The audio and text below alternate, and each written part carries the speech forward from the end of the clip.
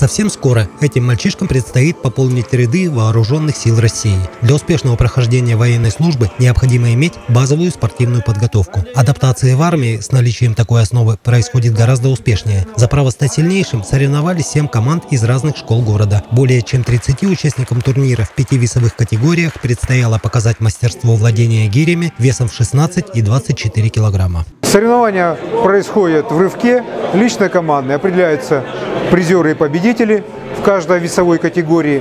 И также награждается команда, команды, занявшие первое, второе и третье место в личном зачете. Владимир Челашаниди, начинающий гиревик, выступил в весовой категории до 60 килограммов и уже сразу задал планку для своих конкурентов. 16-килограммовый снаряд он смог поднять 50 раз. Начало просто соревновательной карьеры.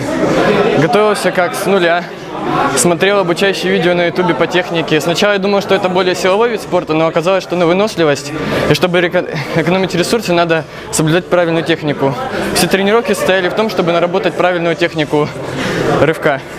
Выносливость это уже на второй план уходит. Настоящая борьба развернулась между спортсменами в весовой категории более 80. Им пришлось работать с 24-килограммовой гирей. Руслан Бадалян уже принимал участие в подобном фестивале в прошлом году. Завоевал почетное второе место. За год упорных тренировок достиг хороших результатов. В результате гирю поднял 51 раз. В спорте с детства.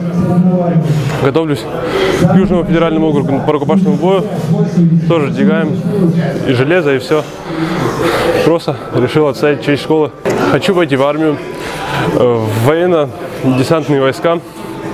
Не знаю, нравится мне это все. Считаю, что каждый человек, каждый мужчина обязан уметь защитить свою родину. По итогам соревнований определились следующие победители. В общекомандном зачете на третьем месте ученики школы номер 18. Серебряными призерами стал коллектив пятой школы. Первое место и абсолютная победа у СОЖ номер 15. В личных достижениях отличились Даниил Вайнбергер, Алексей Хикала и Дмитрий Соловий. По итогам соревнований из числа победителей будет сформирована городская сборная, которая представит Анапу на краевых соревнованиях. Руслан Душевский, Анапа регион.